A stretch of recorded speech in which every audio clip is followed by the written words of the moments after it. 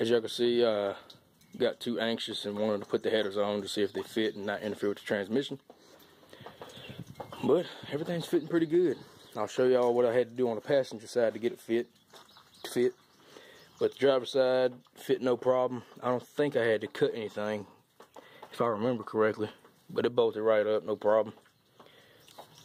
There's plenty of clearance. I don't know if y'all if y'all want to take a look at it right there. Y'all can see it's pretty far away from the frame, from anything major. And I got the O2 sensors uh, plumbed up in there just to see if they interfere with anything.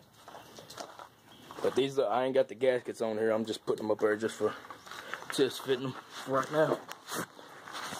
And on this side, it fit perfect, except not so perfect. Let me see. Try to make this quick, I'm because I'm not. I'm gonna try not to drag on the videos, but yeah, I went ham sandwich on the uh, header right there, so so we could clear the frame. So I think that's not gonna be a problem, except for this side, as you can see. Let me see. Too close here. It looks seems like it's. See where the uh, scratch is right in here.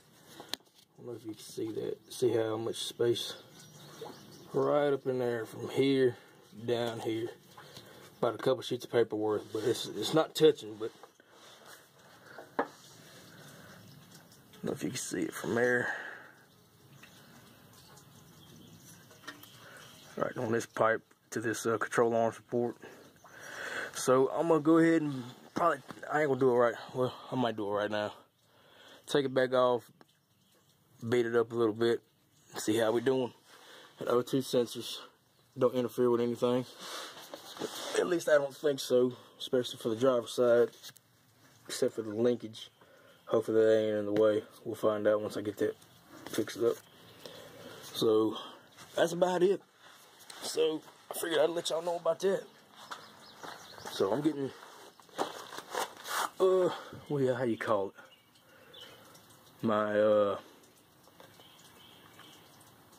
my feelings are happy. That's all I can say. My feelings are happy. I got happy feelings.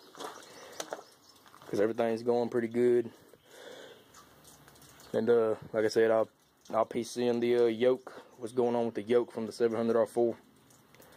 And everything else is pretty good. And uh clearance on the old pan right there as I showed in the previous videos it didn't change at all like a little over a half an inch so I don't think that's gonna be a problem. I'll just keep my eye on it. But other than that everything's pretty good. So I'm gonna cut this short and piece some other videos so I don't bore y'all too much and just cut to the chase. Alright y'all. Y'all take it easy